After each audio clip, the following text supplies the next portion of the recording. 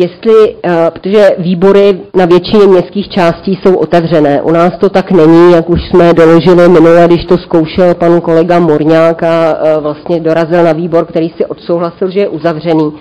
Eh, jestli můžeme na finanční výbor dojít, protože to není z toho, z toho předložené, z té informace jasné.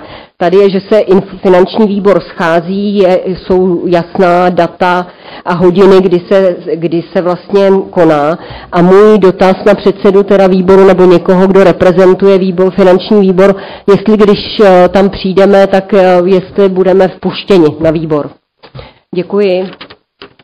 Souvisí to s jednacím řádem a s hlasováním jednotlivých členů výboru. To je celá odpověď. Děkuji.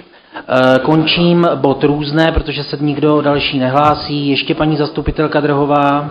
Ne, já si myslím, že to není odpověď, protože je to většinou opravdu v dopoledních hodinách a jako pokud se už, jako pokud se rozhodneme na výbor jít, tak se na to vezmeme nějaké volno a potom je opravdu uh, uh, dost nešťastné, pokud zjistíme, že tam nejsme vpuštěni. Jo.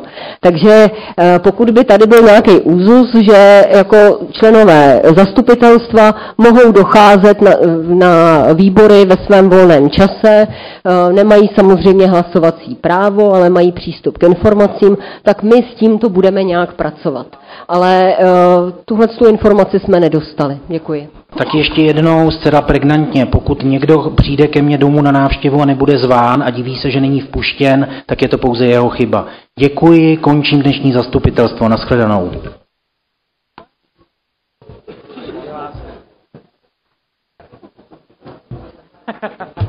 Já jsem chtěl reagovat. Já jsem chtěl reagovat.